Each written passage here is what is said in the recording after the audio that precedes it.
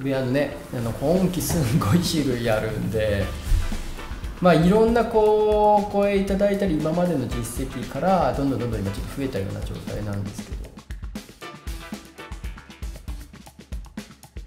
初めてこうやっぱねゲレンで行く時に何まず選んでいいか分かんないような方で、まあ、やっぱりこう簡単に機能して悩まずにそのまま楽しんで帰ってこれるぐらいな最低限のこう機能性を持たせて楽しめますよっていう形でで気分が上がるようなデザイン含めて例えばあのお子さんとかで中学校高とかでこう選んでみたいな時にはおすすめかな。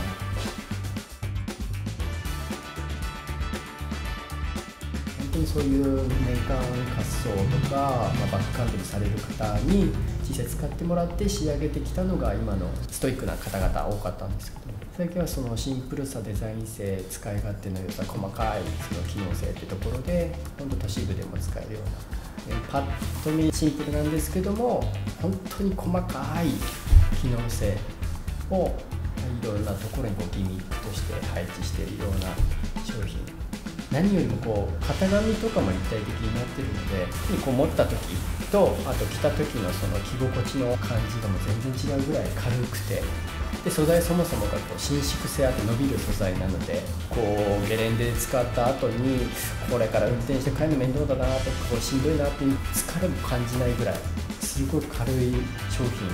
こう着心地いいですとか北海道の人たちってこう一本滑ってから仕事行ったりとか仕事帰りにナイター行ったりとかを可能にするぐらい本当に万能な商品僕らがこう使ってて一番こう例えば身内とかこう紹介したい商品自分が着てたい商品っていう感じで仕上げてきたようなところもあってで実際そういうストイックな方々にどうですかっていう問いかけながらも仕上げてきたような商品です。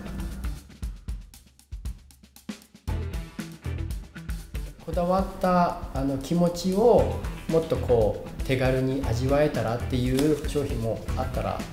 いいよねっていうようなところで仕上げてきたのがこだわりは感じながらも同じぐらいのあの使い勝手で少し抑え気味になっている。あの先ほどの疲れないですよっていうところって結構あのストレッチ性だったり、まあ、型紙とかだったりするんですけどその辺とかを、まあ、踏襲しながら使ってる部品とかあとはポケットの数を少し減らしたり縫製する箇所を少し減らすことで少し抑え気味にしたっていうまあ、それが構想して結構ストイックにされる方だったら、まあ、それもまたちょうどいい商品として仕上がったり。